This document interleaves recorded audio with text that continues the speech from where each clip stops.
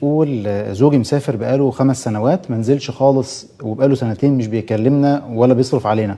فما حكم الدين؟ هل هو كده لسه زوجي ولا لا؟ والله نقول له اولا يتقي الله فيما استرعاه لأن مسألة أن يترك زوجته خمس سنوات هذه جريمة. مهما كانت الأسباب ومهما كانت الدواعي فهو في الخارج يجمع المال حتى لو كان قليلا يجمع من أجل أسرته ومن أجل أن يعف نفسه وأن يعف زوجته. فترك الزوجة خمس سنوات كاملة بهذه الطريقة. هذا حرام شرعا. آه، حتى لا- لم يصيغه المسلمون في الجهاد في سبيل الله.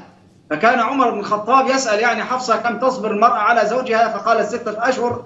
فأمر يعني في هذا الوقت الشديد الذي كان يسافر المجاهد شهرا ذهابا وشهرا إيابا ألا يمكث أكثر من أربعة أشهر هناك حتى يعود إلى أهله ويترك الجهاد في سبيل الله ويعود إلى أهله ليعف نفسه ويعفهم به بهذا الأمر.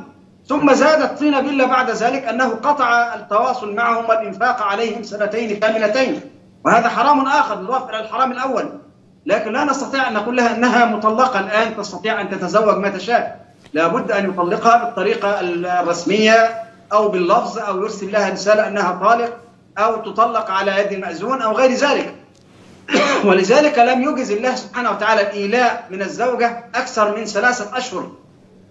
هو الإنسان أن يؤلي أن لا يقرب زوجته. أعطى له الفرصة في ذلك ثلاثة أشهر ثم بعد ذلك إما أن يطلق وإما أن يعود ويستغفر الله سبحانه وتعالى. هذه خمس سنوات آه، يعني شديدة ما لم يكن هناك عذر قاهر لهذا الرجل ولا أظنه في عذر قاهر وإلا كانت يعني الزوجة عذرته في ذلك وتأخر عن النفقة عليهم والاتصال بهم والاطمئنان عليهم.